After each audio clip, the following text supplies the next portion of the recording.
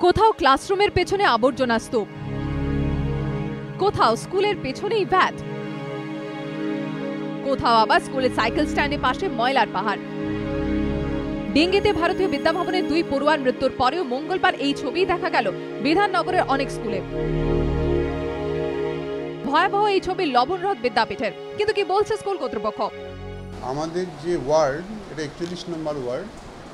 এই ওয়ার্ডের পক্ষ থেকেই আর কি মিউনিসিপ্যালিটির পক্ষ থেকেই আর কি স্কুলের বাইরেটা প্রত্যেক বছর পরিষ্কার করা হয়। স্কুলের বাইরে কিছু নোংরা আছে আমরা অলরেডি আমাদের যেহেতু গভর্নমেন্ট স্পন্সর স্কুল আমরা তো দুম দুম করে টাকা খরচা করতে পারি না। জমা জল কিছু আছে মানে তারপরে টবের ওপর নানা রকম জল জমা জল পড়ে থাকে সেগুলোতে মানে আমি যতদূর শুনেছি মানে ডেঙ্গু লার্ভা সেখানে জন্মায়।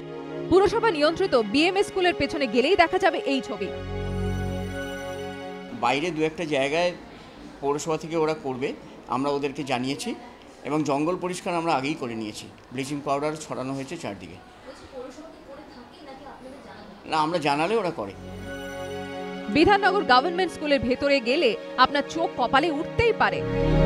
কিছু সাইডে কোনো কোনো পকেটে একটু আধটু সমস্যা আছে যেগুলো ভিতরে কারণ এক একজন সুইপার দিয়ে পুরো কাজটা করানো সম্ভব হচ্ছে না তো। এরকম অনেক খামতির মাসুল গুনছে অদ্রিকা বন্দ্যোপাধ্যায়ের মতো খুদেরা। ভারতীয় বিদ্যাভবন থেকে ঢিল ঢিলছড়া দূরত্বের ফাল্গুনি আবাসনের বাসিন্দা অদ্রিকা। গত মাসে তার ডেঙ্গি ধরা পড়েছে। চার দিন হাসপাতালে ভর্তিও ছিল সে। পরিবারের অভিযোগের আঙুল পুরসভার দিকে সময় মাঝে এসেছিল, ব্লিচিং ছড়িয়েছে ধোঁয়াও দিয়ে গেছে, কিন্তু যদি আর একটু কেয়ারিং হয় পুরসভা থেকে, তাহলে আমাদের এই আতঙ্ক, আমরা এত আতঙ্ক নিয়ে বেঁচে আছি আর কি। এটা আমাদের কাছে মনে হয় যে যদি আর একটুখানি সাবধানে হয়, সেটা আমরাও তাহলে একটু স্বস্তি পাই আর কি। একই অভিযোগ ঐশিক ঘোষের পরিবারেরও। ডেঙ্গিতে আক্রান্ত হয়ে এখন হাসপাতালে ভর্তি ভারতীয় বিদ্যাভবনে প্রেপ ওয়ানের এই ছাত্র।